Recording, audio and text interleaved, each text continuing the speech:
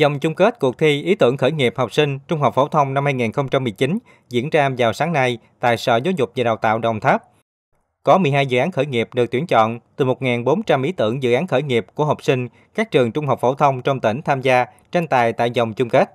Kết quả, ban tổ chức trao giải nhất cho dự án kinh doanh thức ăn nhanh, an toàn chất lượng, cơm kẹp hamburger của nhóm học sinh trường trung học phổ thông Hồng Ngự 2.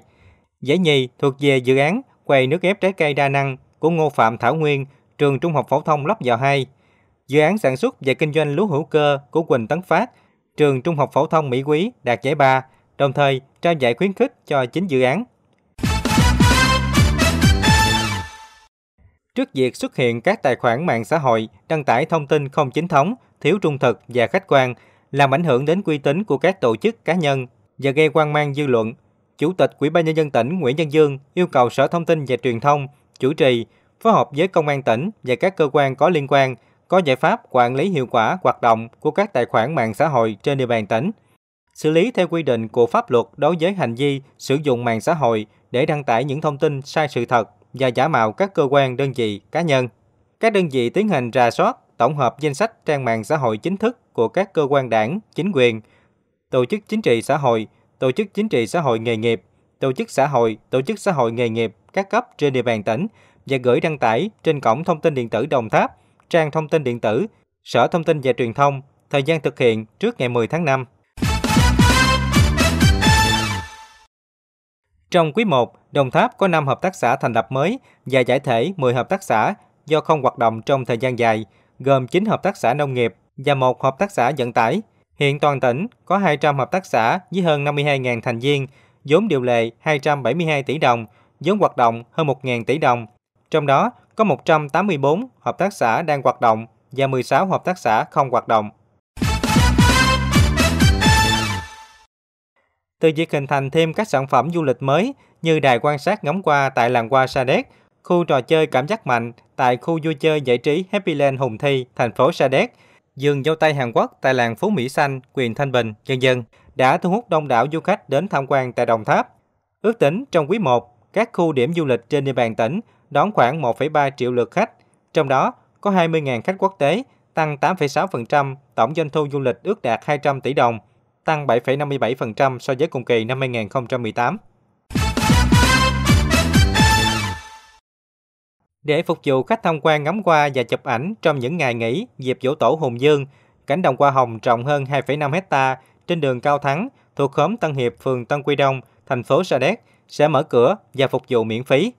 Anh Phạm Thanh Tâm, chủ cánh đồng hoa này cho biết, hiện cánh đồng hoa nhà anh đã có hơn 6.000 cây hoa hồng với trên 20 giống khác nhau. Ngoài hàng ngàn cánh hoa hồng đang khoe sắc, dưới ao, anh Tâm cũng trồng thêm hoa sen, hoa súng. Thời điểm này, các loài hoa đang nở rộ. Bắt đầu từ hôm nay đến hết ngày 21 tháng 4, tại khu liên hợp Trung tâm Thể dục Thể thao Đồng Tháp sẽ diễn ra hội chợ mua sắm và ẩm thực hàng Việt Nam Thái Lan. Đây là hội chợ mua sắm kết nối giao thương giữa Việt Nam và Thái Lan. Hội chợ với sự tham gia của 200 doanh nghiệp với trên 300 gian hàng.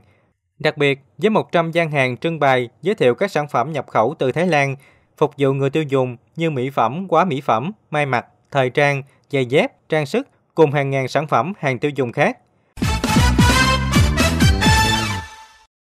Một số văn bản mới đáng chú ý. Hôm nay, Ủy ban nhân dân tỉnh phê duyệt dự án đầu tư xây dựng công trình hợp tác xã thủy sản và dịch vụ Châu Thành. Tổng mức đầu tư là 4,5 tỷ đồng, thực hiện trong năm 2019-2020. Sau khi hoàn thành, dự án sẽ góp phần hoàn chỉnh hệ thống hạ tầng phục vụ sản xuất của 60 hecta diện tích đất sản xuất nông nghiệp và nuôi trồng thủy sản của Hợp tác xã Thủy sản và Dịch vụ Châu Thành, giảm chi phí đầu tư cho sản xuất và nâng cao giá trị nông sản. Ủy ban nhân dân tỉnh cũng thống nhất chủ trương cho thực hiện dự án đầu tư nhà máy sản xuất gạch Trani tại xã Phú Hiệp, huyện Tam Nông. Dự án có tổng vốn đầu tư khoảng 882 tỷ đồng, diện tích sử dụng đất khoảng 16,5 hecta, gồm diện tích xây dựng nhà máy là 12,7 hecta và diện tích khai thác nguyên liệu là 3,8 hecta. Trong tuần tới, lãnh đạo tỉnh sẽ tham dự các sự kiện quan trọng như diễn đàn củng cố và nâng cao hiệu quả hoạt động của các hợp tác xã nông nghiệp ứng phó với biến đổi khí hậu ở đồng bằng sông Cửu Long. Sự kiện này do Bộ Nông nghiệp và Phát triển Nông thôn phối hợp với Quỹ ban Nhân dân tỉnh Đồng Tháp tổ chức với sự tham dự của khoảng 300 đại biểu. dự lễ công bố xuất khẩu lô xoài đầu tiên của Việt Nam sang thị trường Hoa Kỳ. Đơn vị xuất khẩu lô hàng xoài đầu tiên này là công ty trách nhiệm hữu hạn xuất nhập khẩu trái cây Chánh Thu. Đơn vị nhập khẩu là công ty trái cây nhiệt đới Đại Tân và đơn vị cung ứng là hợp tác xã xoài Mỹ Sương huyện Cao Lãnh. Ngoài ra, còn có các sự kiện như làm việc với đoàn công tác chính phủ, làm việc với nhà đầu tư Hàn Quốc, Hồng Kông, Ukraine về dán du lịch kết hợp nông nghiệp, họp về kế hoạch đăng cai tổ chức triển lãm mỹ thuật khu vực 8 đồng bằng sông Cửu Long tại Đồng Tháp, dân dân.